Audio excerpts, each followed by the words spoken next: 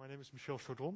I currently work at uh, University in Leiden, and it is my pleasure to give a guest lecture in the uh, series uh, of this course in Eindhoven.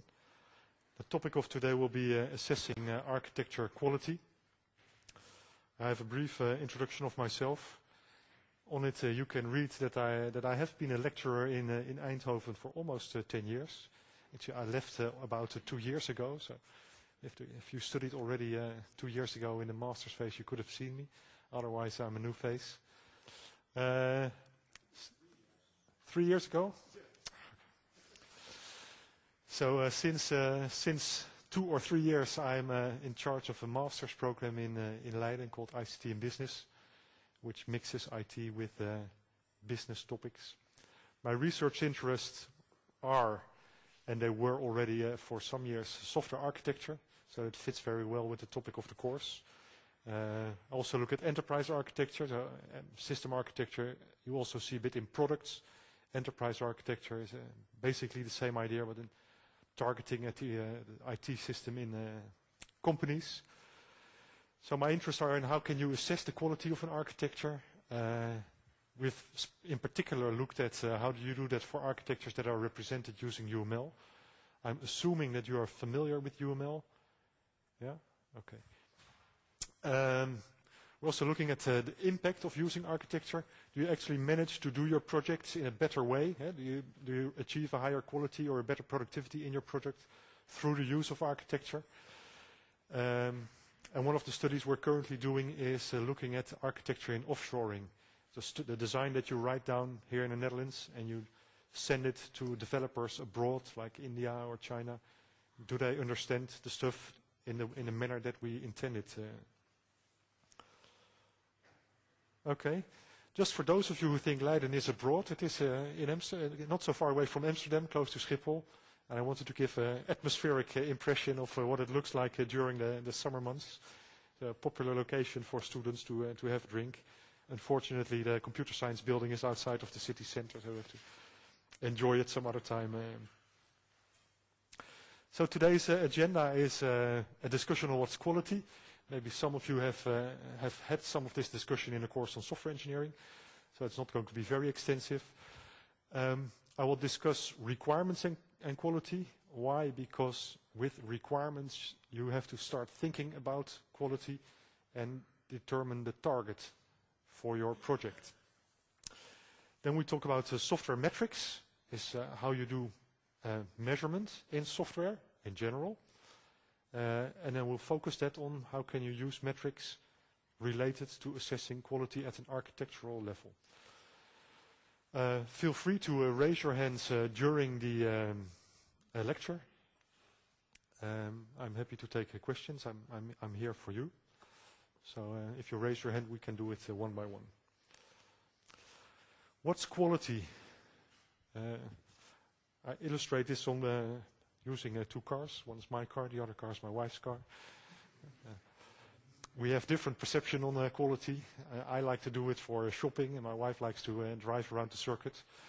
So you can guess whose car is whom. Clearly, they have different objectives for quality. Eh? They're engineered for, a, for achieving different goals. So maybe uh, uh, some people from the audience can respond, okay, what's the quality of a car? How do you measure it or how do you assess it? Can anyone make a suggestion? It's lifetime maybe? Lifetime? So how long it uh, remains operational? Yeah, that can, that can be uh, quality uh, characteristics. Cost of maintenance? Absolutely. Yeah, if it's higher cost, then probably it's lower quality.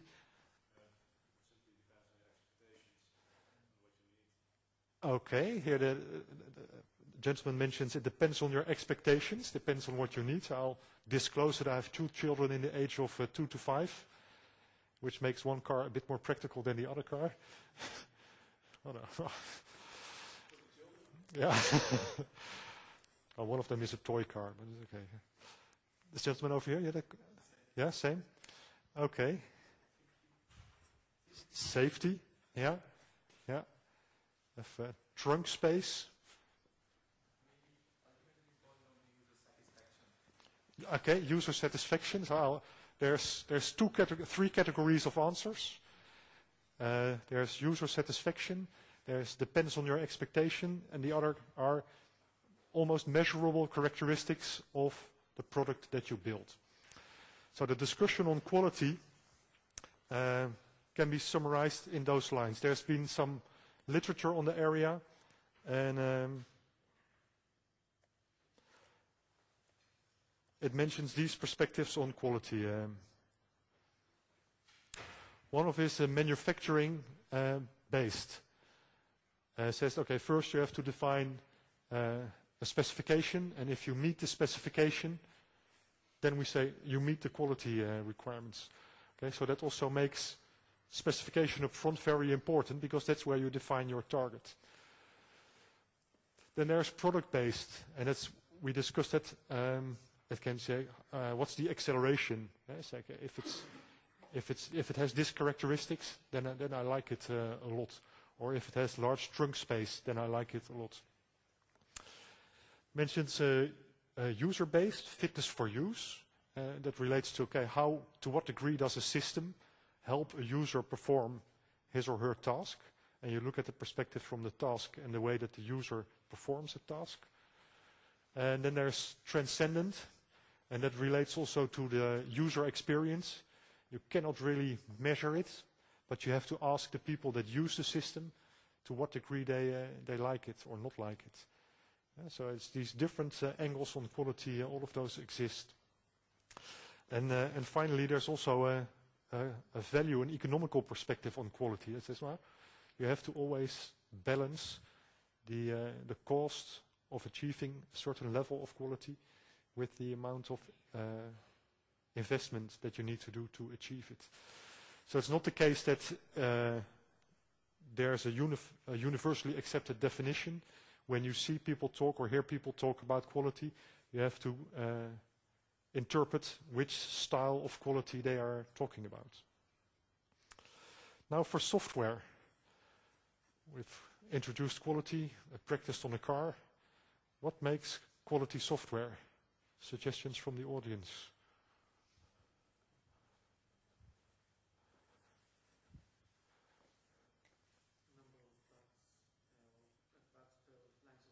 Yeah, and the number of bugs per uh, thousand lines of code is a measure that is sometimes used. High number of bugs, I suppose, is poor quality, and a low number of bugs is good quality. Who knows what's the best number, what's the, is defect density, what's the best defect density that we can do universally? NASA software in the space rockets. It's about three to four defects per thousand lines of code. Yeah. It's interesting if you know that the airplane has about uh, 10 million lines of code. It always makes it a nice experience. Uh, Okay, so the number of defects. Any, anyone else? Other suggestions? What's? I mean software. Software system. Yeah. So you can look at it from okay, it's it is the people that use it, but also the people that have to maintain it. Yeah.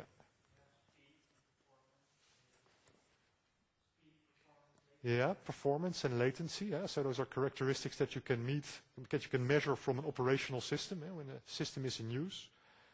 Yeah. Yeah, usability is a characteristic of quality.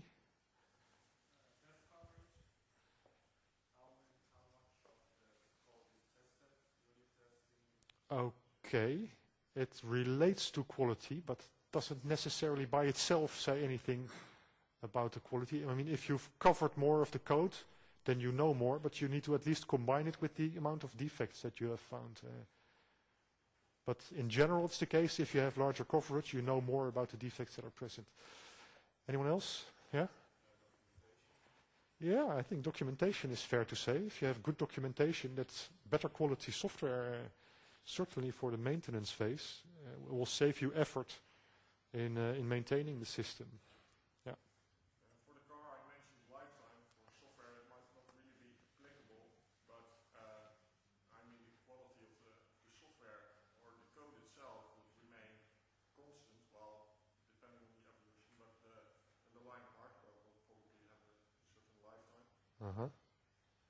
Okay. So fact is that software does evolve uh, as much as uh, other uh, as other artifacts that are built, and software does decay, decay, so it becomes worse over time, unless you actively maintain its structure. Um, okay, well, I'll, I'll move on. Um, some of these have been mentioned. The program does uh, meet the expectation, so it computes the output that you expect. Um, it doesn't crash. Um, or you can say the, the number of uh, defects that you find after so many hours. Those are certainly from a, from a user perspective, you can say are quality-related properties. Um, there exists also a, a quality model called, uh, or standardized as uh, ISO 9216. And this quality model is a hierarchical model which has quality in the root and then decomposes it into uh, characteristics and then sub-characteristics and then into attributes that are ultimately measurable. So here the tree has been flattened. And You see uh, different uh, branches of the tree. So it defines uh, quality as consisting of functionality, reliability, usability, efficiency, and uh, items like performance fit, under here, maintainability, which is more related to uh, the software engineers and how they have to use the software, and also portability. And you see that each of these characteristics is further refined into sub-characteristics. Like for efficiency, it is resource behavior, utilization, how much of my resources are being used. And the next level that is not shown on this slide is that resource behavior is again refined in some unit that is measurable. Yeah, question. No, that's correct. Old standard. um, oh, actually, it is uh, here. It is, in the list. So it, was. Um, um, I'll, get back to this topic though, uh, because I'm, sure there are some more illities that, we can think of. Uh, and actually, um, some other people started doing this same discussion and say, oh, we can think of other properties. Um, this is also a quality model where it has quality in the, root of the tree and it fans out into measure into attributes that are measurable. And it shows that there are, there are several of these quality models. Uh, this is McCall's quality model. I'll hand out the slides so you can read it later, but you can see it's the same structure. It has these characteristics that are refined. Boehm's quality model. So I'm not going to go over all the details of all of these, but I use it to illustrate the idea. Uh, at some point, people started realizing uh, it's not going to work to have this universal notion of quality. Uh, we can have a classification of all types of properties that are relevant in some cases, and you can merge those and make a very long list. But it is certainly not the objective to meet all quality properties or make them optimal in some sense at the same time. So if you are to design a system, you have to think what are the objectives for your project? Is it security? Uh, is it performance? Is it uh, reliability? Is it availability? And then how, how do you want to operationalize this? Eh? In what way do you want to measure this? Such that you can track it. Um, maintainability, also important property. So this, this idea of you can, uh, you can use these, but you have to define it for yourself. Um, it is uh, defined in a, I suppose, one of the most recent approaches, which is goal question metric approach. And it's okay, if you have to define your goals, you have to define which questions you want to answer and how you're going to measure those. Uh, and this paradigm is, is even more universally applicable than to uh, software design itself. Um, this slide shows the different standards that exist in the area of uh, software quality. And you have to imagine that uh, for each of these standards there is this volume of um, uh, books that you can find templates and checklists and everything. Um, some of them, uh, so ISO 9000 is a very general quality uh, system, which is also used in production systems. Uh, there's particular military standards. Uh, there's process-oriented standards. Uh, software improvement standards. Uh, what it says is, there, is there's no single uh, answer to it, but there's many answers. Yeah, question. I think has has influenced or is derived from. Yeah, so if there's an if there's an if we look at uh, SPICE, then it was influenced by this standard, and it was influenced by ISO as a standard, so or inspired by, uh, derived from, in some degree. Yeah. Uh, if you were to look at a particular project and see how quality is uh, ensured, maybe some of you have seen this slide in the software engineering course, it's a simplification of a waterfall process where there starts with a feasibility study and it goes down to uh, coding, testing and operation. Then ideally, at each step, there is some quality assurance activity. Many people will first say, yeah, you have to do uh, testing.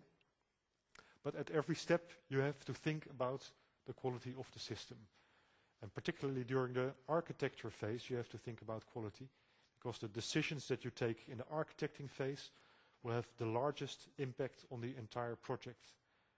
Yeah, because there's a large there's a large amount of activities, subsequent design decisions that depends on the early decisions that you take. What you can also uh, uh, infer from this slide is, okay, if we do testing here, then what do we do in the earlier stages? Which methods and techniques can we take from the shelves for uh, ensuring quality? Anyone have any suggestions?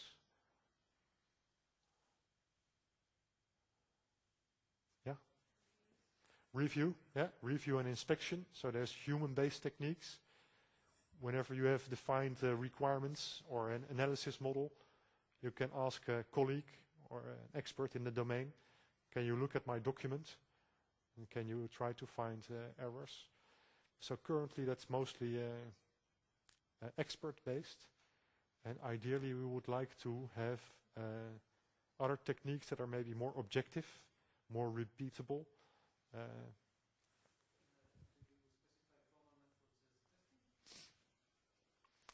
uh, no, I don't. Okay, that's an interesting uh, suggestion. It's generally not considered a quality assurance technique, although if in projects that aim for high assurance, it is uh, sometimes is recommended in a quality standard. It's more generally considered to be an, uh, a design technique, but uh, formal methods enable you to, to uh, reason about the design and prove properties in a mathematical way. So they're a, an, a, a complementary approach to uh, finding errors. Most of the formal methods will address the issue of correctness, though. And you also have to think about performance, maintainability, security, and all the other issues. So it's It's a, it's a, it's a partial answer, and it's a, I'll get back to it. Bec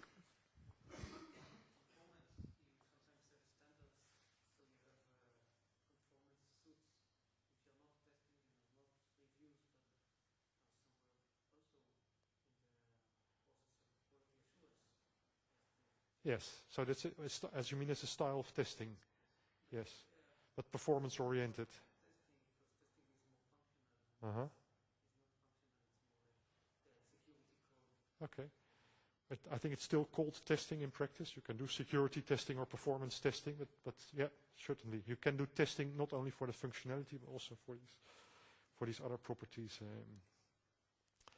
So if you were to take these uh, quality uh, books from the shelves, then they're often not so popular amongst software engineers because there's a large amount of uh, bureaucracy and you have to fill uh, many forms and if there's no tool support, uh, it takes a lot of effort to fill and, and uh, it's considered a bureaucratic activity.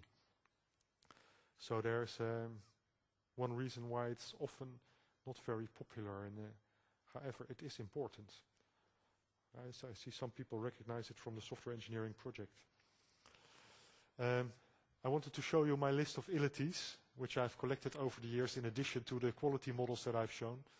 It goes to illustrate that there is many, many, many type of illities, uh, quality properties that can be uh, can be important for your uh, for your project.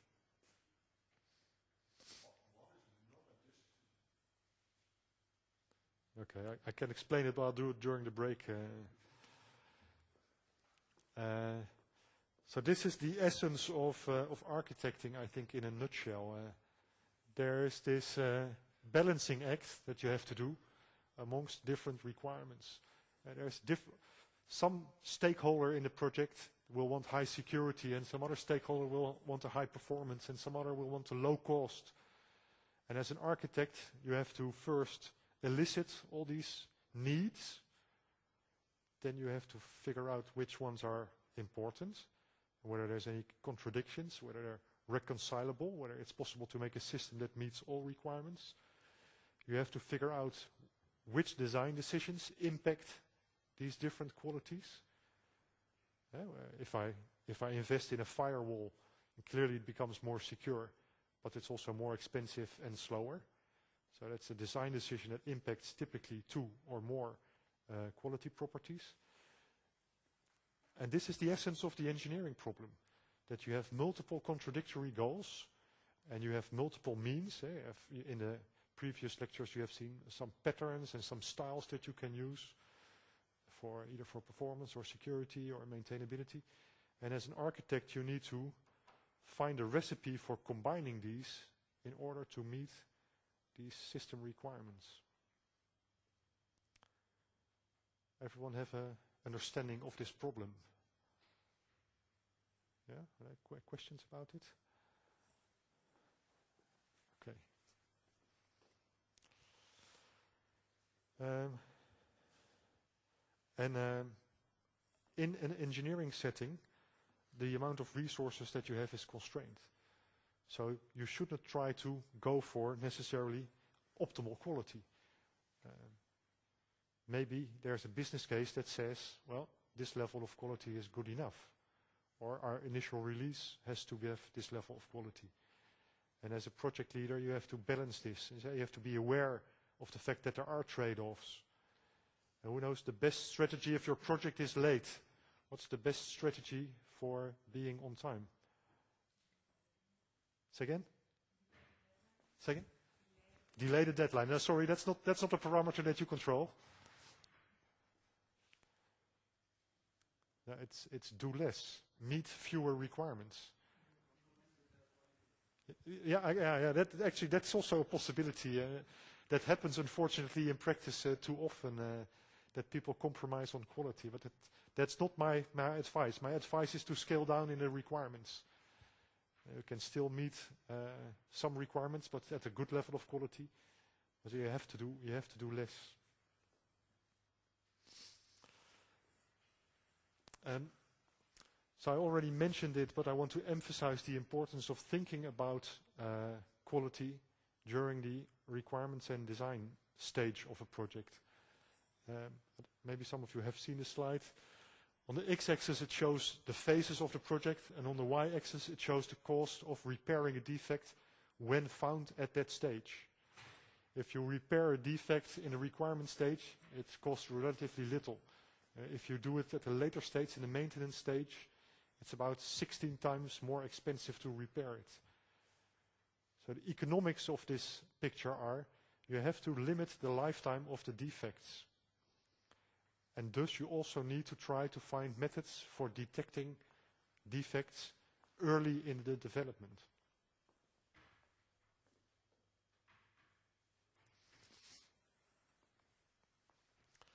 I mentioned that there's uh, an economic trade-off in uh, targeting quality.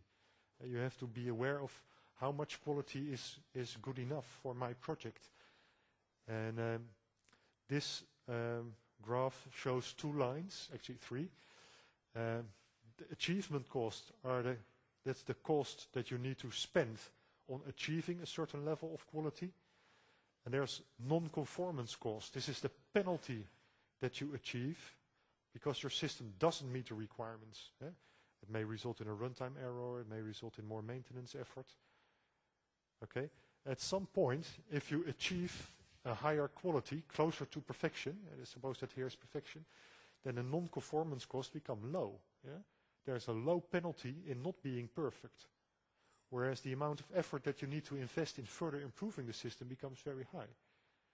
So actually you need to have a, a notion of the achievement cost and the non-conformance cost and find a sweet spot which is the minimum of the sum of these two. And unfortunately, there is no uh, fixed calculation that will tell you what this is. Why doesn't the non-performance cost uh, approach zero at 100% Uh, I suppose because it's an abstraction. It, it, it could. There's no statistical data about it. Uh, Of course, but I, I mean, it's the achievement cost start at 0%, so in yeah, absolute view, you guess if the system is 100% perfect, yeah. wouldn't have any non-performance cost. I suppose in theory you're right. But I've never seen a system that has no non-conformance cost because there's exactly. So, so I'd, I don't think it. I don't think it should prevent you from understanding the uh, the message of the slide. I.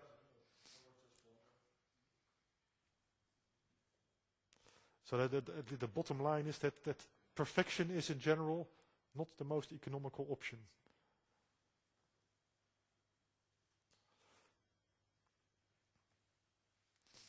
Okay, let's move into the area of uh, requirements. Uh, earlier we discussed that if a system meets the requirements, we can say it's of good quality. So that's, that's a relative definition. Eh? So here's my requirements, and here's my system. And if it meets it, we say it's okay. It's the best I can do because this is what you said I should make, and this is uh, how I do it. And uh, that means that through your requirements, you define your, your target. You define what it is that you want to achieve. And for this reason, it's important in the requirement stage to, to think about it. And, um, many projects in practice, they fail, and this is famous data from a, a report by the Standish Group. They collected statistics about why projects fail, and I highlighted the categories are actually related to uh, requirements. Either the requirements were unclear, or they were unrealistic, or they were changing too much over time. And altogether, they account for uh, the largest category of root causes for not meeting uh, project objectives. So before we go into the technical design and all the other methods that we have, I want to emphasize that you should start thinking about the quality in the requirements phase. Because if you haven't defined your target, it doesn't matter where you shoot. Right?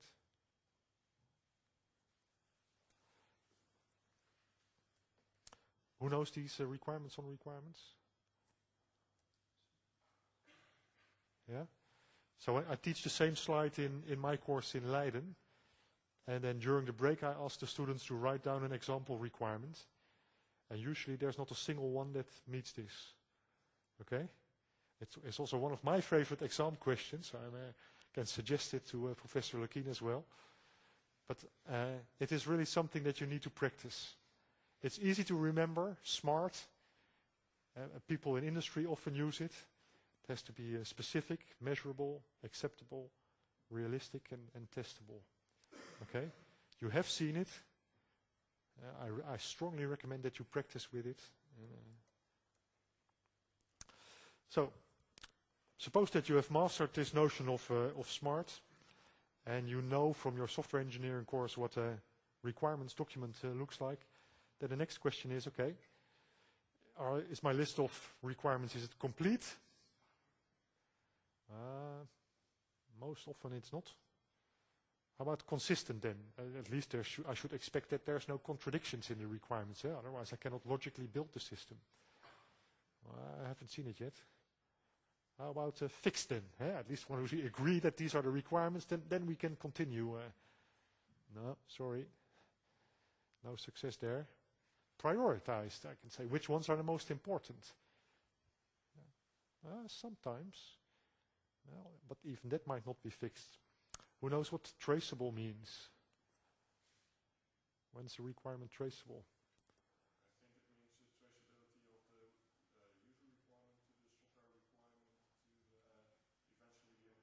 Yeah, yeah, yeah. That's related to that. So I, in the ideal case, you have a chain where you say, okay, this is my, maybe you can start with a business case, but let's start with the user requirements. The user has this requirement, has this implication on the software or on the system, and through these design decisions, I create a system that satisfies this. So actually, when you make a design decision, you should link it back to the requirements. Okay, by making this decision, can I argue that I will meet this uh, requirement? Yeah, so you can have uh, either tables or matrices where you can say, okay, through this uh, design decision, I'll meet this objective, and through this design decision, I'll meet that objective.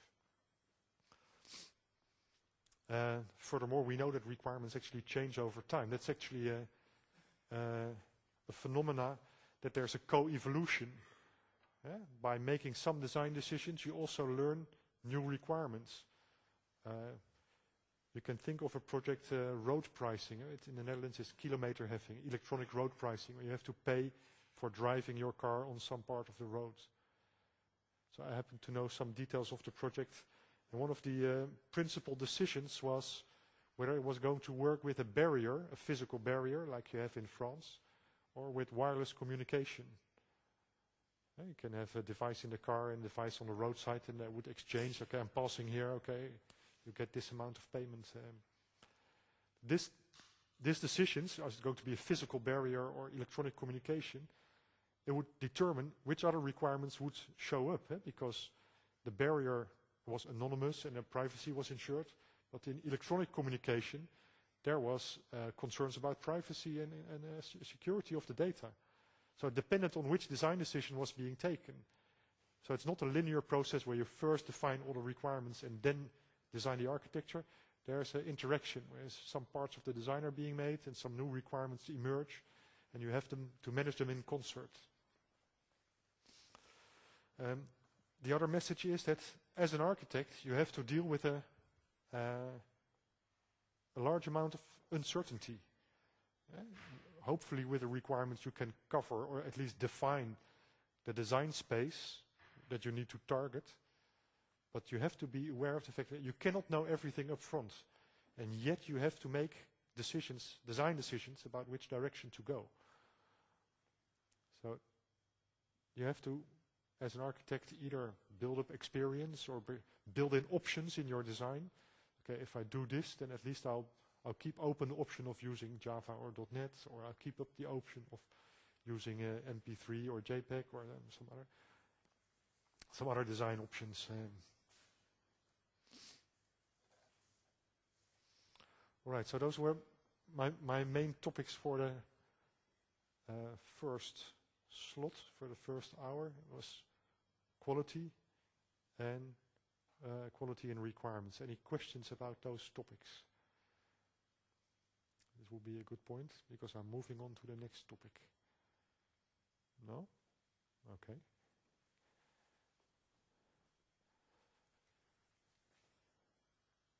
The next topic is uh, software metrics.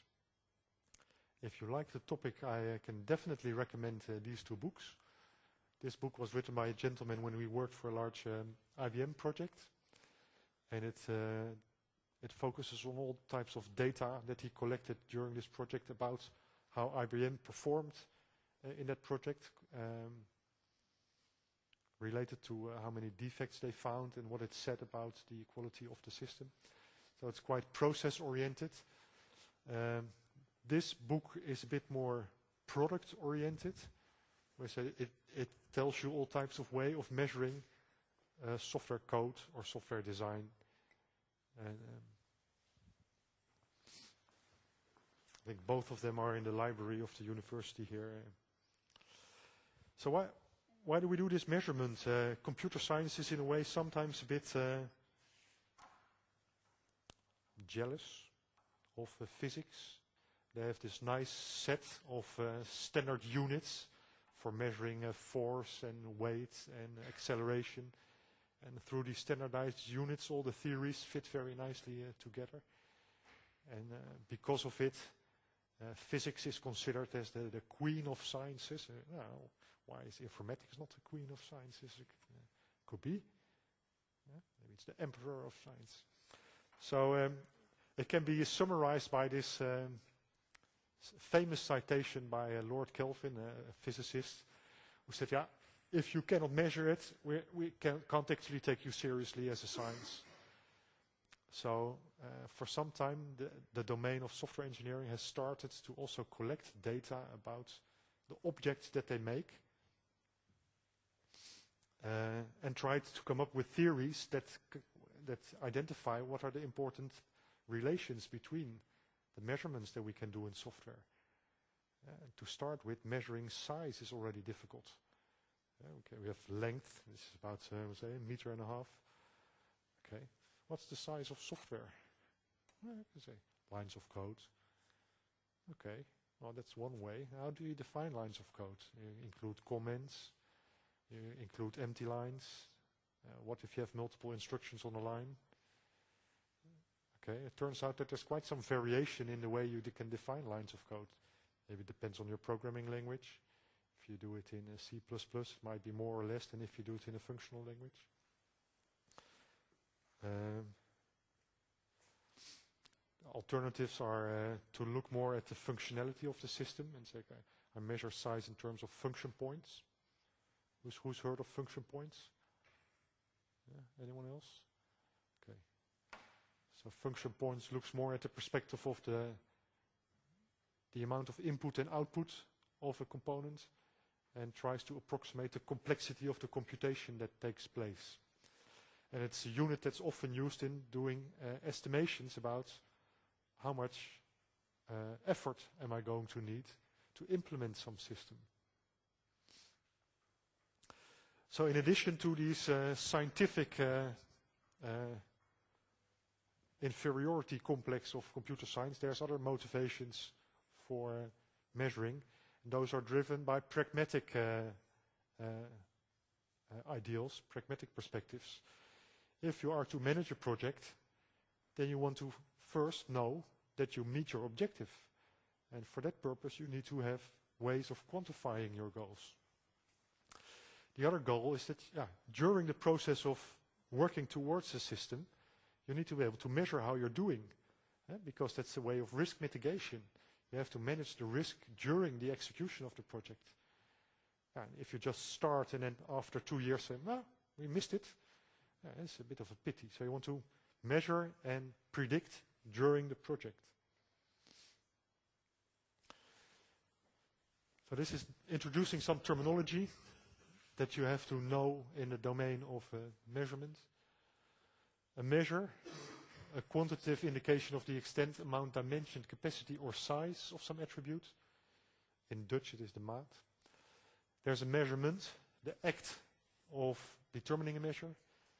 And there's a metric, is a measure of the degree to which a system possesses a given attribute.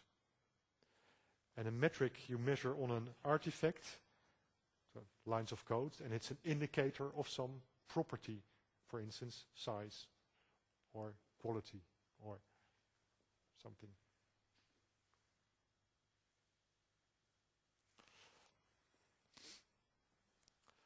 So summarizing, uh, why do you do this for practical purposes?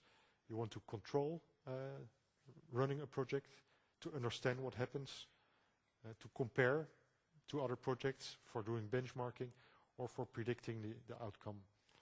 In general, you find that metrics are often used by quality assurance people. Why? Because they want to find out which parts of your process are consuming many resources or are uh, injecting many defects in the process. And if you know where your defects are, then you can uh, target your quality assurance techniques. Here are some examples. Um, if you're a company, maybe some of you uh, have a small company that builds uh, websites, and you want to make a bid for uh, a project, then you have to estimate how much cost you're going to make. And you want to offer a price that is realistic, uh, competitive, but also with a margin. Um, another reason for looking at measurements, at metrics, is uh, suppose that you switch to a new tool or new method of development then you want to know whether it's going to actually lead to an improvement, yes or no. So that means that you need to collect data about how well you are performing in project, with and without uh, this te technique. You can use it for forecasting uh, staffing, maybe for predicting uh, the amount of maintenance that you need. This shows some examples. Um,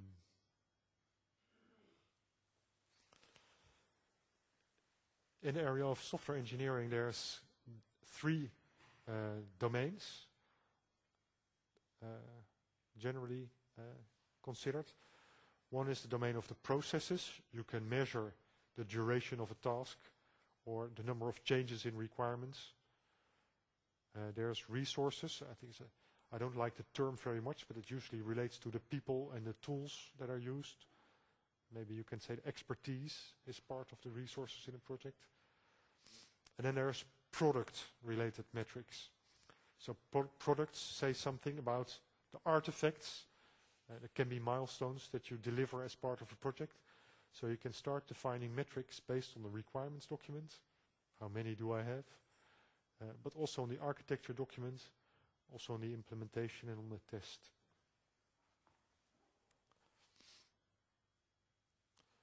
Here's some more examples of process metrics.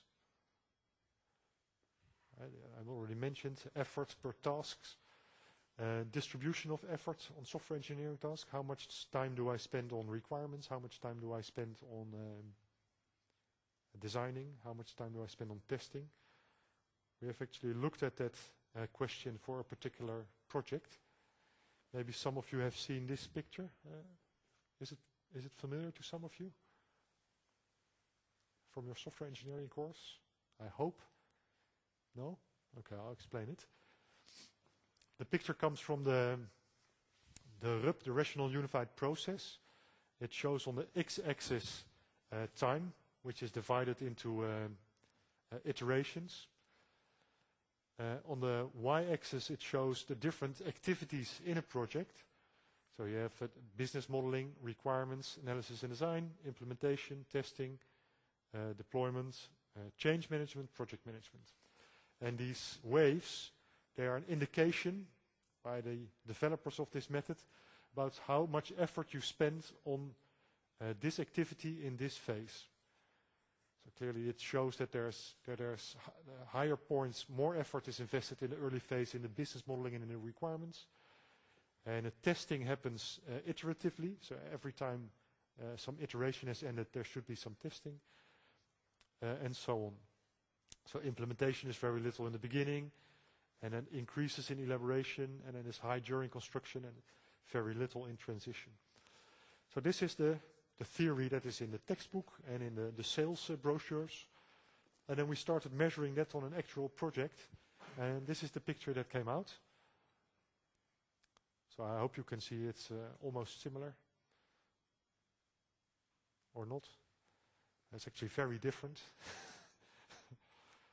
so we were trying to see whether we could use this data for uh, assessing whether a, whether a project was performing very well or not. You remarked anything particular about it?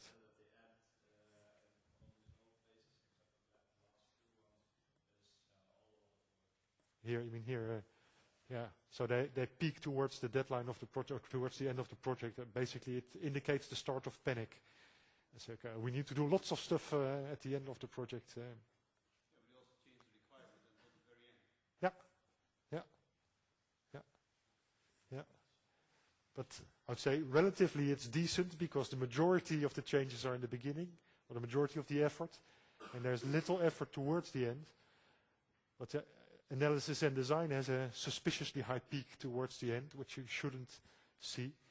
Uh, testing you were expecting, but, um, but yeah, in particular this part is, uh, is quite suspicious. Uh, ultimately it turned out that we couldn't use it as a, as a very detailed diagnostic uh, approach because there were yeah, many, many external factors that influenced this. People would go on a holiday, people would become ill, The architect of the project was changed. Uh, the client of the project decided to pause the project for a couple of months.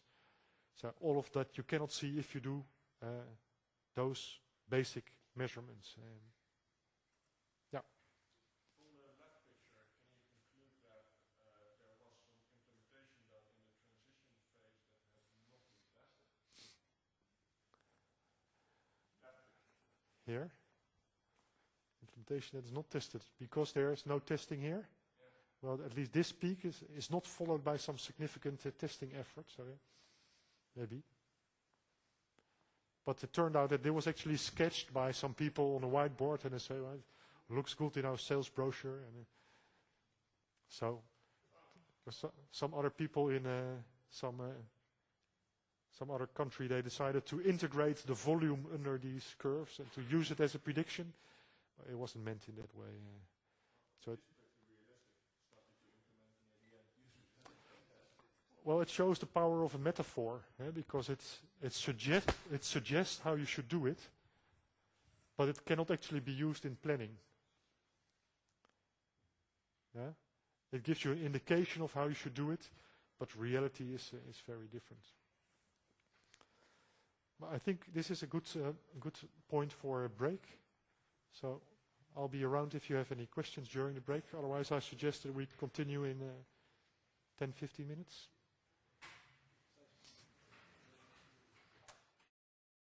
That from uh, industrial documentation, and it shows an architecture uh, somewhat anonymized from the actual documentation. So you can see it has it's a layered system where it has a presentation layer. It apparently uses a browser and some authentication, and then there's a business layer and a persistence layer with some security. Uh, within each layer, this is modeled as a UML package. You see more packages and there are dependencies within uh, within a layer. And there's also dependencies from one layer to the next layer. And this particular system uses a, a column on the on the right, which is common elements. that shared functionality by all the uh, by all the layers. What I the reason why I show the picture because I think it's nice. It's quite nice from the, the pictures that I've seen. So I've, I've, I've visited companies and uh, knocked on your door. And, Can I see your architecture? And after they panic, they, they give me some documentation. And, uh, they say, oh, this is it. And often it's PowerPoint and uh, Visio pictures. And uh, sometimes they take a snapshot with a camera from the whiteboard. And they, they stick it into the documentation. But this is nice because of its simplicity. Uh, it shows elegance in layout. Uh, it's it's clear overview, and um, in one uh, in one say uh, oogopslag. Who helps me translate? Blink of an eye. You can see. Okay, this is a decent design. Yeah? Uh, so it's something that you learn to do by practicing. Uh, maybe your first design is not going to be like this. Often uh, starting designers, they don't think in terms of the layering at all. They start making classes, and then the, the class diagram grows, and only later they think of uh, uh, what what happened to my layering. So you can, as an exercise, you can try doing uh, start with the layering and see, okay, where where do different classes fit. Um, it comes from an information system, but for an embedded type of system, the, the, the style of layering is not necessarily different. You have a, da a, data layer, could be data acquisition, so sensing. Uh, there would be a, a system logic layer, what's the main application, and there would be a presentation layer which interacts with the user, so the, the same type of layering is applicable. Um, so that's uh, a screenshot from real life. I want to continue with the product metrics. So I started explaining before the break that we can start measuring uh, the artifacts that we create in a, a, system development project, and that from measuring we can start understanding uh, and try to approximate uh, or use measurements as an indicator for quality. Um, there's different type of measurements that are around. I'll show one example of uh, measuring algorithmic complexity. I'll try to focus on architectural or design complexity. This is the, one of the most classical metrics. It's called McCabe uh, complexity metric. And it's based on the number of paths in a flow graph for some algorithm. my next slide has an actual con control graph. So you're supposed to start uh, here, and this is a branch. The control flow can go either here or there. So can, this is a path through the system, and it stops here, and here's another path, and maybe here's another path. And the number of paths from start to exit in a method, procedure, or component is in this case defined as an approximation for the complexity. And if you uh, look at the mathematics, you can define the graph in terms of the number of edges and the number of nodes, and you can uh, do the mathematics. And the idea is that based on this metric, ik heb je vraag gezien, ik kom zo op terug. Uh, based on this metric, you can um, uh, define some guidelines saying that the, the, the complexity of a method should never be higher than 10. We used to have a guideline that says uh, your method should fit in your screen, but with the advancement of uh, displays, uh, screens become too large. Too many lines fit in it. So uh, the other thing is if, if there's a high complexity, then the, the working hypothesis is that high complexity correlates with high maintenance cost and a high defect density. Okay, there's a question. Okay, if it's a it's a loop with uh, uh, with fixed um, interval, then it doesn't count, I think, because it's a single flow. But if it's a while or repeat loop, then it has a decision in it, um, and the decision point is a branching point. Yep. That is a classical one. I think it was defined in the 60s or 1960s already. Yeah. So. Um, I've been arguing earlier that we want actually to do quality assessment early in the design phase. Whereas McCabe is algorithmic and it mostly it, it applies when you have um, invented the algorithm already, maybe coded it, so you can, there's tools around that will calculate McCabe's metric for source code, eh, for Java or C++. But with, that's a bit late in the project and we would like to see can we do measurements on the design such that the design, uh, the, such that those measurements tell us something about the maintainability or the extensibility of the system. And the topics that we will look at are coupling and cohesion, which I think you have seen before. First of all, I wanted to summarize these design principles. They, they apply to software, and hopefully I, I think you should have seen some of these in the context of software but they apply similarly to a system as a whole. So you shouldn't think of these necessarily as software, but as system design principles. Uh, simplicity, yeah, uh, it's it's easy to say what it is, but it's difficult to do. Uh, the picture I showed the example was fairly simple. I can also show you some pictures that are not so simple. Just by looking at the picture, you can say, okay, well, if the picture is that complex, maybe the system is a bit complex. Separation of concerns. Is anyone that can explain to me what is separation of concerns? Well, I trust I'm not the first one in Eindhoven to discuss separation of concerns. Uh, Okay, can you use a bit more words? I think it's right, but...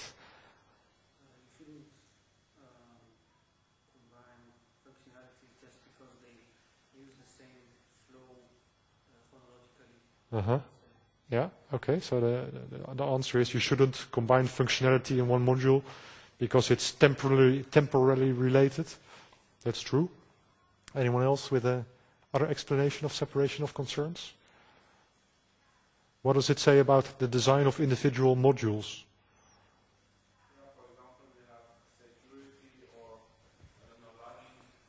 Yeah. Exactly. Yeah. Yeah. Uh-huh. Yeah. Yeah. Well, why? Because it's easier to manage, easier to change if you want to, yeah. I don't know, change the security, you don't have to, you know, deal with the big module. Exactly. Yeah. Yeah. Did ever, can I, could everyone hear that? Yeah. There's a comment here. Yeah. Yeah, reusability is also improved by having a separation of concerns. Uh, yeah. So uh, how do you, how can you recognize in a design whether it has applied the separation of concerns?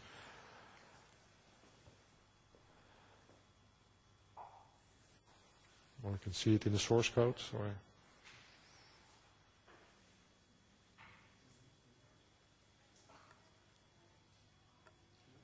No? Okay. Go on to discuss it. I'll come back to the question. Let's look at the next one. Information hiding. What's information hiding? Is there anyone that can explain it? Yeah. Gentleman over there. No? I think you've discussed the Parnas paper.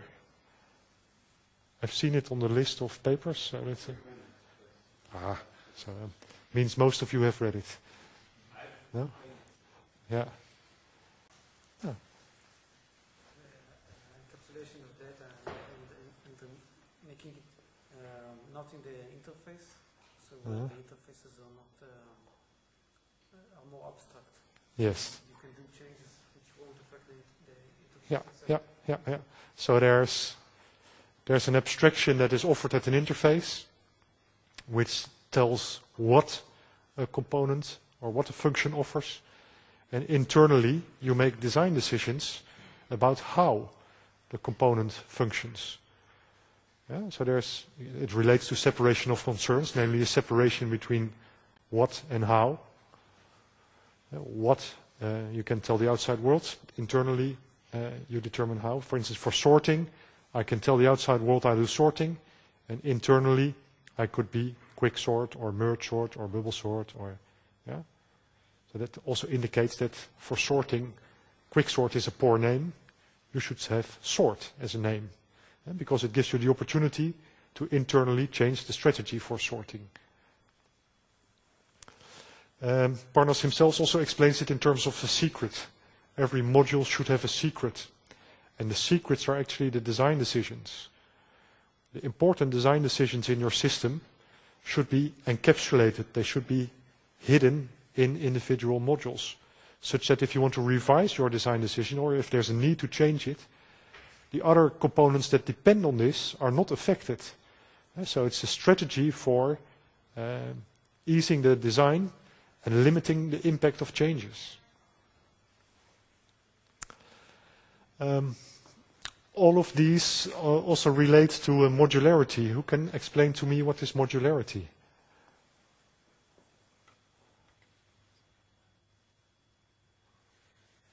Not the usual suspects. Uh, someone else. Uh.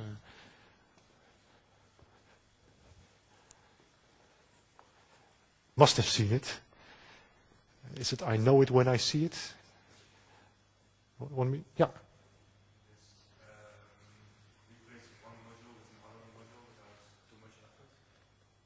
It's definitely related. So under, under what conditions is this not too much effort?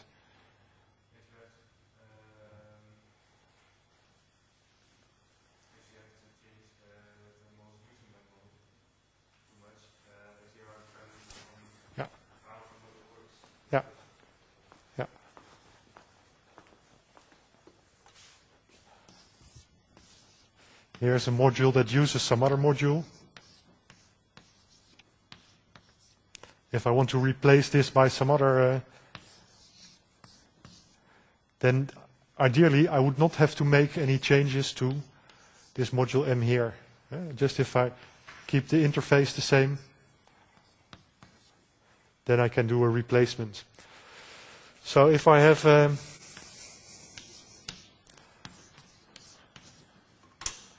if I have many incoming dependencies Does it become easier or more difficult to do a replacement here? More difficult, yeah. So modularity in a way is related to uh, the amount of uh, interconnections between modules. Uh, clearly you can say I define classes and a class is a module, but that's not, uh, that's not in the spirit of modularity. The idea is that the, the number of dependencies should be limited, should be small. Okay? And, uh, and ideally one module has one responsibility. Okay. Um, this is sometimes again seen as a different um, explanation. Clearly it relates to separation of concerns. Keep things together that belong together, keep things that belong together in a single place. And so they, they shouldn't be spread uh, across the system. If you do separation of concerns, you'll probably do this. Okay, so the next uh, topic that I'm going to explain is related to uh, design metrics. And most of the design metrics will, will be an indicator of whether you have applied these design principles. Yeah? These design principles are generally considered to be uh, healthy, uh, good practice, and these metrics are going to be indicators. Okay. Here's a coupling. It shows a number of uh, modules, four modules, and the uh, lines between them, they denote coupling. Uh, there's a coupling between one module and another if there's a dependency. It, one module uh, builds on a, a function of another module or it uses it in some other way, interacts with it. So here you see a relatively a high coupling for a small number of components, and here you see a low coupling. So you could approximate this by a measurement. You just count the number of lines that's incoming and outgoing. So here it is uh, five, and for the same component here it is two. So same design, but with smaller uh, coupling. Okay, so this is the preferred design compared to this. So low coupling is good because it helps uh, replaceability I'll start over there.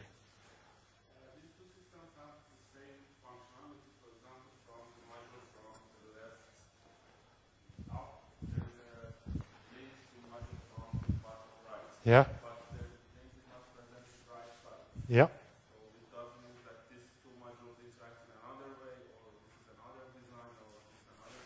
Well, it's a, uh, to start with, it's a, it's a, it's an explanation, but if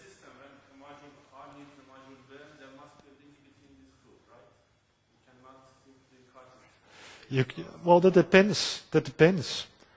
Uh, quite often you see that uh, people program some dependency into a system that's actually not necessary or not needed.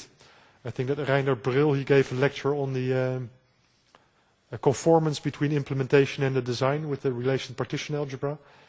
And uh, it, has a it has a definition, mathematical definition of the allowed dependencies. And in practice you'll see that people They'll, build in, they'll program in dependencies that were not meant. So they increase the coupling in a way that was not intended and deteriorate the architectural design. Yeah. And often there is a way to reroute it. Eh? Suppose there was a, I think you're referring to this link here. Because, hey, here it can use this, but here it's not possible. But maybe in this case the traffic goes via another component.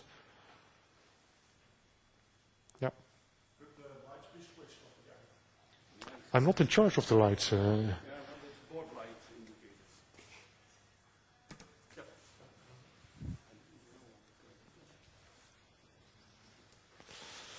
Okay. So this, this gives you an idea of the, uh, the way in which uh, a dependency manifests itself. Eh? It can be that there's a reference to an attribute or to a service. Uh, method A has a reference to objects of another type. Or subclassing is also a dependency. Eh? If, you if you have one class that's a subclass of another, then there's at least a, at least a compilation dependency. Uh, this, this class needs to be present when compiling this, otherwise it doesn't work. So one of the heuristics is uh, inheritance relations should never go across component boundaries. Can anyone imagine that? So inheritance is uh, uh, one of my least favorite constructions in uh, architecture at all. If you have it in your design, okay, I can live with it, but please try to avoid it in your architectural design. Here's a counterpart of uh, coupling, it's cohesion. It shows two uh, uh, components where there's uh, four or five uh, subcomponents. In this case, there's, conne there's connections. In this case, there's no connections. It represents that they work together. Eh? This needs something that this offers. This needs something that this, this offers. In this case, this could, this could be different type of functionality that apparently is accidentally together in this module because there's no dependency relation between them. So this is considered low cohesion. There's no obvious reason. There's no strong connection between them.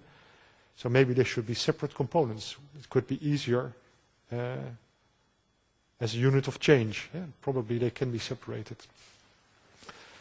So uh, for cohesion, you want, within a component, you want a high cohesion. And amongst components, you want low coupling.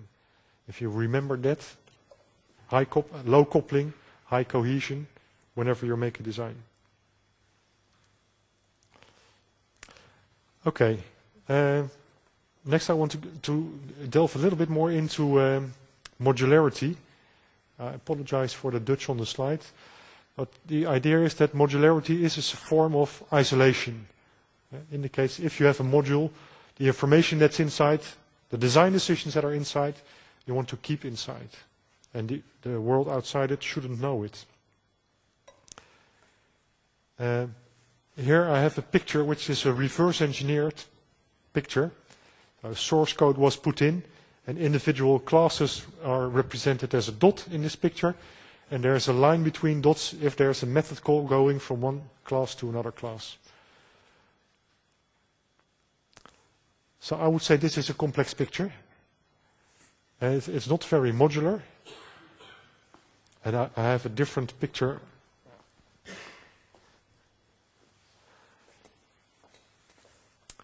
It, the picture is at least somewhat better, I would say, because that's, uh, there's less spaghetti. Uh, you can see that there's uh, the density of the coupling between the nodes is lower. But still the picture is fairly complex and you cannot really see whether there is a layering or not. So complexity in the sense of spaghetti is the, the largest enemy of the architect. Any serious system for which you will be paid as an academic architect is going to be of this complexity. Okay? If it's smaller, they'll hire someone from a different program, yeah? a lower level of education. You will be faced with the, the, the, the difficult design issues. So whenever you recognize that something is moving in this direction, it, is, it will be your task to improve the structure. It becomes intellectually almost impossible to manage eh? if the number of design decisions and the number of modules is not limited by modularity. So what's the importance of modularity? Uh, it is believed to uh, enhance robustness, reliability, correctness.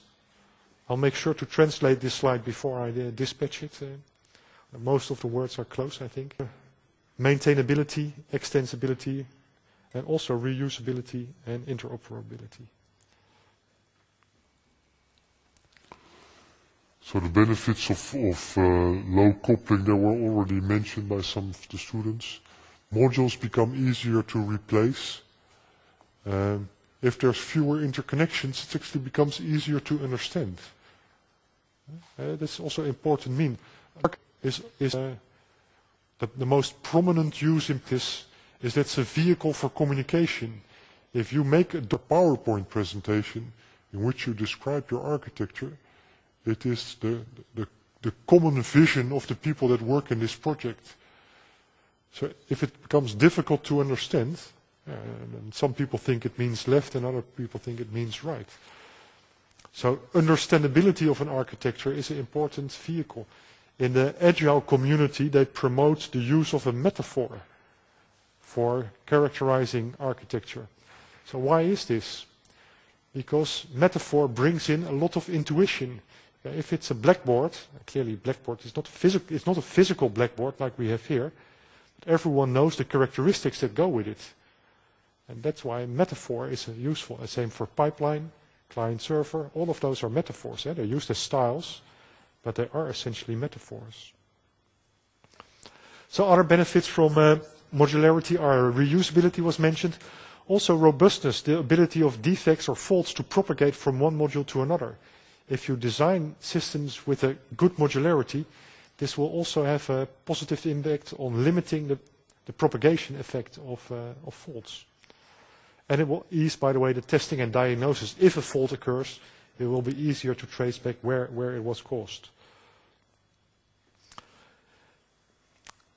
This is um, the design of a laptop, I think, where it has um, several subsystems. It has a drive system. I think the example dates from the 90s. Mainboard, a screen, and uh, some, some packaging. Uh, each of these has subsystems which are re represented by the rows.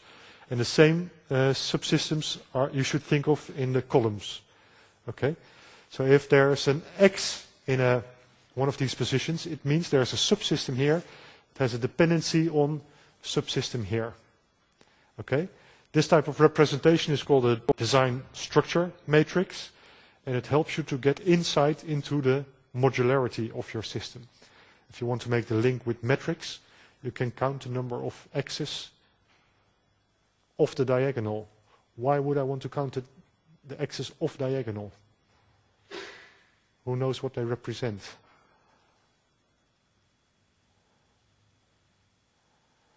So if there's a, you can see that the density of the axis in the diagonal is the highest. This means there's a dependency within the same subsystem. So is that a matter of coupling or cohesion? That's cohesion. So if that's cohesion, what's an x outside the diagonal uh, component? That's coupling. Yeah. So here you can see that there is coupling in some areas here and here. So th this technique is also a technique that you can use as maybe a complement or an alternative to architectural conformance. Eh? Can, instead of using this graph representation, which is used in architectural conformance, you can use a matrix representation.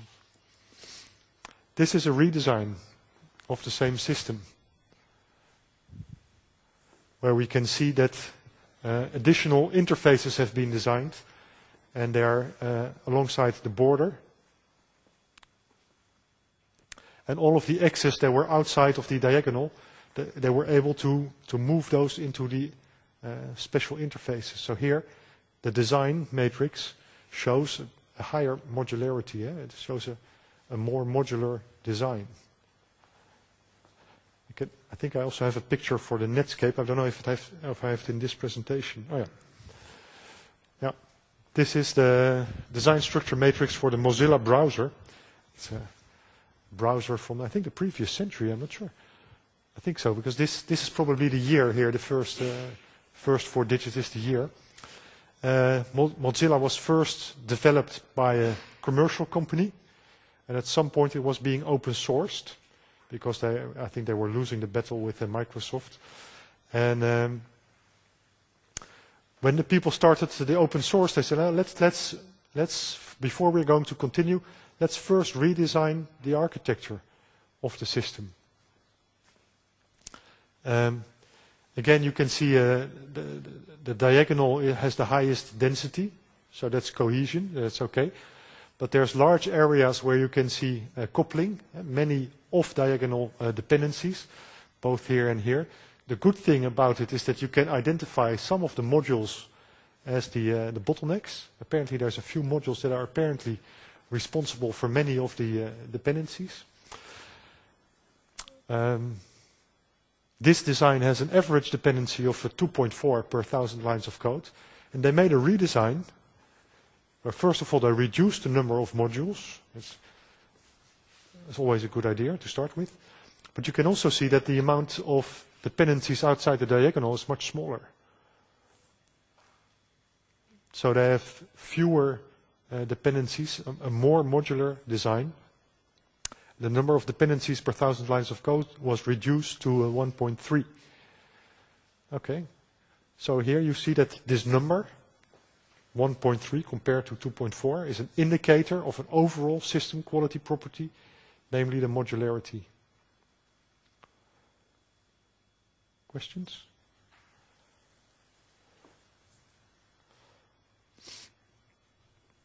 For object-oriented design, uh, there's a, a suite of metrics that have been designed by Mr. Chidamber and Kemerer. This metric suite was, I think, one of the first, and it has been uh, dominant in the research in this area. Uh, I'm not going to explain all of them, but we'll look at a few of them. Um, in particular, we look at uh, coupling. Here's an example of uh, design, and it consists of uh, seven or eight classes, where clearly there is a centralized uh, responsibility in one module, and there's a number of other modules that, it, that are steered by this central component. So you can see the, if you count the coupling, and look in this column, this coupling has a, this module has a coupling of uh, seven. Okay? I'm going to show the same design, but this time refactored. It's the same system. This is the same component that used to be the, the central one here, but now responsibilities have been delegated. Yeah, not everything is centralized, but has been delegated to some other modules. So that means that uh, this is now responsible for communicating with the others, and SAT itself is no longer connected to this. So this is an example of what we discussed in the cohesion uh, or in the coupling uh, discussion. And if you look at the measurements, you see that the maximum in this column, it used to be 7, now the maximum here is 3. So the amount of coupling has reduced by changing the topology of the design. And it was achieved by delegating uh, responsibilities. So the, the risk in this design is that this central component is going to bloat. It's going to grow and grow and grow because more logic is going to be uh, added to it. And by having a more delegated logic, uh, we expect that each of the components will grow in a more balanced fashion. Okay, so again, it's an illustration of how the use of metrics can be an indicator of a more maintainable, uh, balanced design. And in this case, it's design, it's metrics at the design level. Eh? It shows a class diagram. I, I, well, in this case, I happen to have the code, but you can apply it during the design phase. Here's an example of how uh, metrics relate to uh, patterns. I don't know if the facade pattern was uh, discussed. There's a situation where you have a, a package here with several components inside. It's being used by some other components, but each of them makes a direct call to some of the internals over here. Uh, so you can count the number of dependencies here, six or seven. It is the facade pattern suggests to replace it by this design, where there's a single gate called the facade, uh, the, the face to the outside world. All of the external components now have to use this. And this routes the request internally. So it's a better separation of concerns, it's a better information hiding, and it's also reflected by the metrics. If you look at the, the coupling or the fan-in, fan-out, which is basically the number of ingoing dependencies or the number of outgoing dependencies, you see that the numbers for this design are much nicer than the numbers for this design. So you can look at the patterns, the patterns book, I don't know to what extent it's being discussed, and look at it from the perspective of the metrics, and you would see that all of the patterns, they are uh, they're changing the design in such a way that the metrics are actually nicer.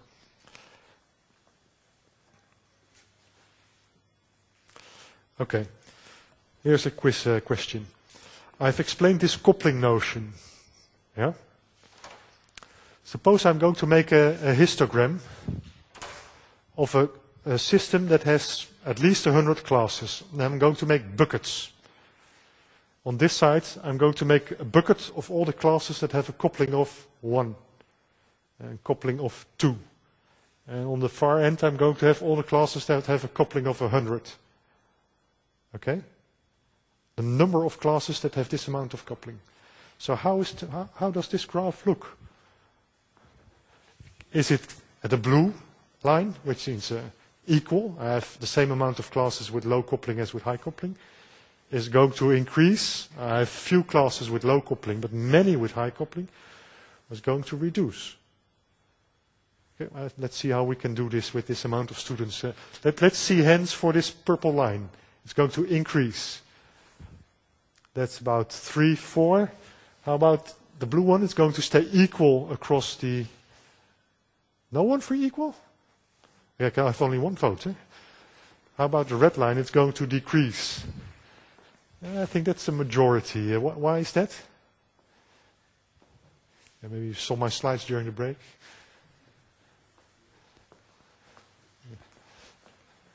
Yeah, I think the, the red line is closest to reality. Uh, this is the this is the histogram for an actual system. I think it's more than 140 classes though, which it mentions here. And you can see that there's many classes with a low coupling, which is good. Eh? Low coupling is good. But the, the, there's always classes that are high coupling. Eh? It continues all the way up here. In general, you have a pattern where it goes down steeply, almost like an exp exponential decrease. And it goes on, and it goes on. We have seen systems with coupling of 170. Uh, I would say that's a bit too much, and you should really try to do better. Um, so this, this gives you a different way of looking at the overall design. Uh, again, you can express it in a number, in, or in this case in a distribution, which tells you uh, the, some characteristics of the modularity of your design. I'm also convinced that different classes have different roles. Maybe there's some, some data definitions that are here, although sometimes you see a data definition here, and there's many classes using the same data definition. Uh, if you have controllers in your architecture, coordinators, managers, those will end up here too often. Yeah? Apparently they have many dependencies to, uh, to different types of components. And it is the challenge of the architect to push this down. Eh? These guys, they should go down. Again, uh, it also shows that it's not a matter of uh, black and white. Uh, when we confronted the designer of the system with these measurements, and he said, yeah, I agree with you, it's not a good idea, but I'm not going to change it. Because we've already implemented it, or it's too much effort to change, or too costly to change. So it says two things. One, if he would have known earlier, he could have made a better design.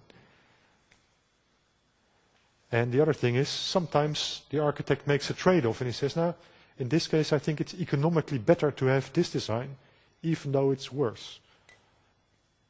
But also it depends very much on the moment in time when you do the measurement. Here's a um, number of methods per class, also as a distribution.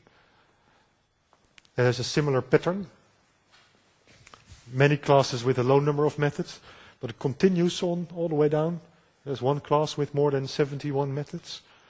So if I were an architect or a quality assurance person in a project, then I would be saying, okay, this is probably okay, but I would ask the architect to look at these guys, at these classes, and say, maybe, maybe you should look at it. Maybe you can uh, uh, adjust your design such that you reduce the number of methods.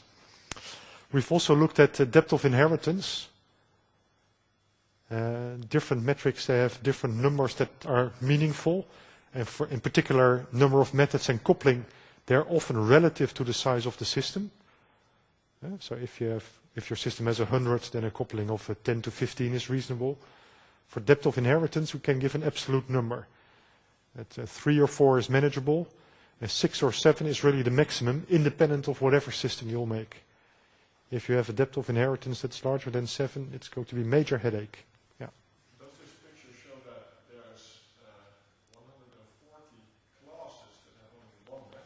Yeah. That's okay. Yeah, it can be uh, can be a getter or setter or uh, yeah, it's an actual industrial system. So I didn't invent the numbers. So it's not necessarily the same system as on the previous slide, though. And there's lots of, lots of people trying to uh, harvest data from open source projects, for instance. As many repositories are available, and you can try to explore patterns. So what I like to, to see as a master project is someone to figure out what's the role of these guys. What's their role within the system? Are they controllers or managers, or uh, uh, are they for uh, security, or are they for no one has ever looked at it. So we have, uh, during my research here at the university in, uh, in Eindhoven, we've developed a tool called Metric View, and you could feed in a UML design, and it would calculate all these metrics about coupling, cohesion, and number of methods, and would visualize these uh, on top of the UML design. It could be interactive, and it could help you say, okay, this class meets your uh, th- threshold for equality, and these guys, they don't meet it. It would project histograms, which tell you that the number of methods is so high or it's not so high. And it was a, a graphical way for uh, providing feedback to the designer about the weak spots in his system. And the graphical way worked much better than the tables. We could give him the numbers that were not so intuitive. Um, it's still available for projects as far as I'm concerned. I don't know if there's anyone in Eindhoven that's willing to supervise it. Otherwise, you can send me an email and I can discuss it. Uh, I put a, a video of the tool online, so you can uh, can watch uh, YouTube and see how it works. It actually also allowed you to uh, to create a quality tree. Yeah, say this is my notion of quality, and I want these notions of metrics as an indicator, and you could select which one to use.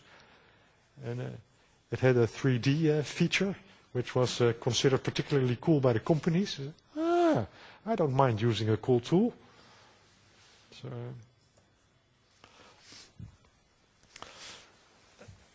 I'm approaching the end of my, uh, my lecture. Um, there's one result that I would like to share with you about the effectiveness of uh, architecting or modeling. Uh, I should keep with effect first and try to generalize afterwards. This graph shows the data from an industrial system where we created a metric for the level of detail in a UML design. Okay, we could, on a per class basis, we could say how much information is in the design, and we would particularly look at the sequence diagrams. You could say if it's low level of detail, it mentioned maybe some informal term, a high level of detail, and I would mention the method name, the type that was being used, maybe return types. Um, the numbers here range from low detail to high detail. Um, and they, they turn into negative because a statistical transformation was used, but that's not the most important part. And the other thing that we calculated per metric is we would go through the defect database, and per defect we would uh, Uh, just count how many defects were found for each individual class. And together with that, we would measure, okay, how is this class modeled? What's the level of detail? And on the x-axis here, you see the level of detail. On the y-axis, the defect density. So the pattern that you see is, goes a bit like this. Eh? It shows if you have a higher level of detail, you have lower defect density in your implementation. And that's basically what we hoped and wished for as a, uh, believers in modeling and upfront design. It shows it pays off to, uh, to invest in the quality of your design because you can expect a lower number of defects in your implementation.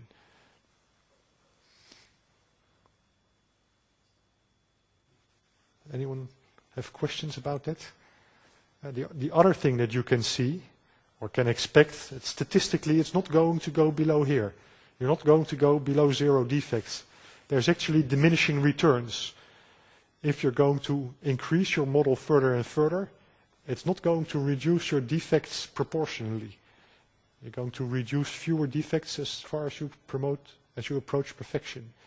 And this is what you can basically expect from the cost of quality model also. Eh? You're not going to reach uh, zero defects. So I'll move into the summary of the, of the lecture. Um, the metrics, the notion of metrics that I've shown, they are a means, uh, they're an indicator for particular quality properties in the design. Their advantages are they're objective. Well, uh, if you can compute it and you can mention which definition you've used, someone else will get the same result which is not the same for a review or inspection. They're incremental in the sense that you can start using it when your design is not finished. You don't need the complete design or the source code to start using metrics. Because if there are poor design decisions like high coupling, it will already be indicated. The application of metrics can be very fast. I showed there's a tool around. There's many tools for metrics at the code level. There are some tools around for metrics at the design level. Uh, and it requires little effort to apply it. So basically, it's low-hanging fruit. If you're a quality assurance person, you just ask your project to use it, and it's a low effort, high benefit. What's considered a weakness uh, is that, okay, uh, if you get a coupling of a 7, you don't know yet whether it's a good or a bad number. So it requires some expertise in interpreting what these numbers mean. I think that I don't think that's a showstopper or a difficulty. So be going beyond the summary on metrics, a summary on the lecture as a whole for today. Uh, we started with emphasizing the importance of requirements, eh, because the, the stakeholders, they determine what are the important quality properties of the overall system. And the, the, the, the summary of the advice is get feedback early and often, eh, involve your stakeholders early and also throughout the development ask them, are we on the right track? Establish your priorities between quality, schedule, and cost, because there is likely to be a trade-off, and it will help you prioritize and will help you in motivating your design decisions.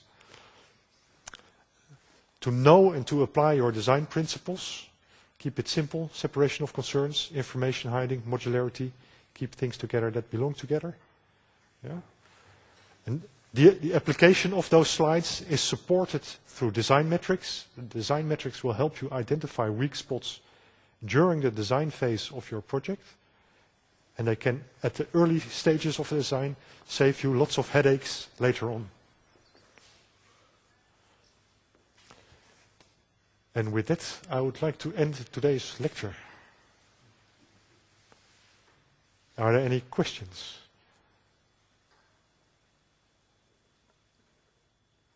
want to uh, thank you for the lecture. My pleasure.